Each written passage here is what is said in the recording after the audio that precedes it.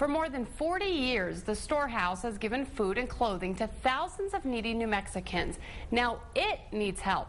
As News 13's Jeff Todd reports, last night's downpour left a gaping hole in its roof. 67? They're still helping customers at Albuquerque's main food pantry, but there was a brief moment yesterday when workers didn't know if the storehouse would be open today because of a six foot hole in the ceiling. Boy, howdy, we came in here and it was like a faucet running to the roof. It was unbelievable. I'd never seen so much water coming into a building. It looked like a disaster almost. There were things that had fallen down from the ceiling. There was a pile of wet carpet here. There was wet insulation and things that had come out of the ceiling. It was just a mess. We put about five trash barrels of huge ones. They filled up within 10 minutes. So after that, there was not much we could do but watch the water come down.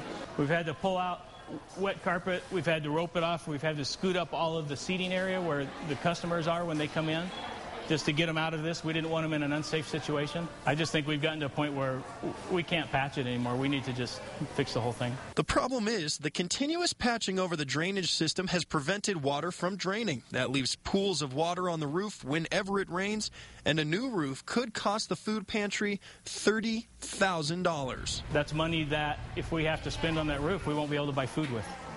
That's a lot of food. It would be about 12 trailer loads of food that we could be giving to people. It needs to be repaired so we could be coming back to this place. Jeff Todd, KRQE News 13.